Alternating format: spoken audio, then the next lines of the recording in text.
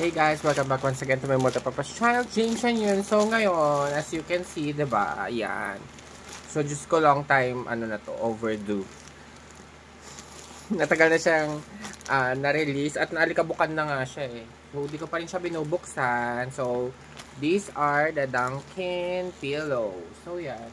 Ito nga natanggal na yung ano, yung pagkaka uh, compress niya. So yan. So, ito pala ang Dunkin' Pillow na um, strawberry sprinkle and uh, vanilla sprinkle candy. Yeah. So, ano mas favorite ko dito? Ito, syempre. Chocolate pink. So, yan. Buksan na natin.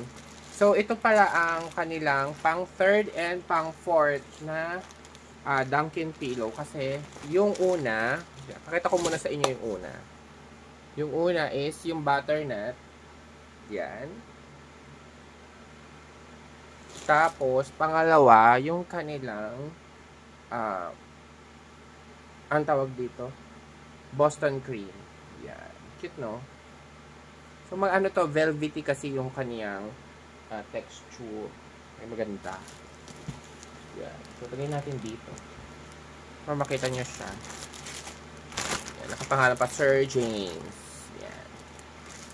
So, shout out sa mga ano, uh, crew ng Duncan City Walk. Tarlac.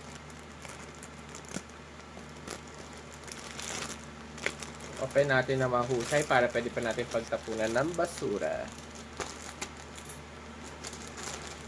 So, ito na siya. Tapos,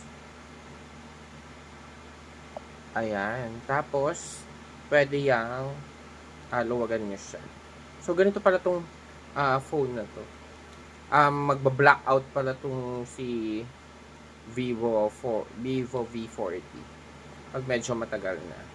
So, sabi ganyan-ganyan para mag-expand yung kanyang uh, mga foam dun sa loob. Yan. So, ganon. Ang favorite kong ginagawa dito, kung hindi siya sakto dyan, para dun sa may leeg, yan. Minsan ginaganyan ko yan. Tapos inaakap ko. Yan. Ito yung isang strawberry sprinkle candy. Tapos, um, itong pang-apat is itong, syempre, vanilla sprinkle. Pangalan na rin yan sa akin. Hindi natin na maayos. Puro alikabok na. Kasi nilagay ko na dyan sa itaas ng kama. Sabi ko, i-unbox ko minsan. So, vanilla candy sprinkle. Ayun siya. Vanilla candy sprinkle. Ang cute. Lavender yung ganito niya. Lavender din pala siya. Ayun. Yung Boston cream parang plain lang. So, i-expand lang natin sila para gumanda yung shape.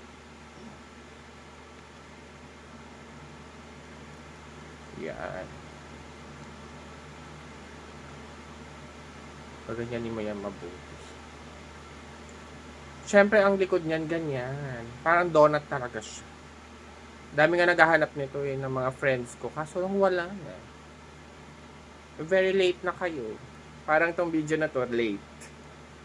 Yeah expand mo lang siya para para maganda. Yan.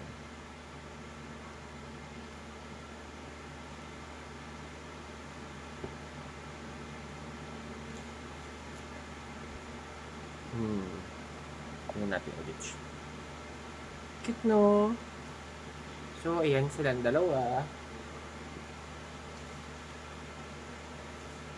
And silang apat.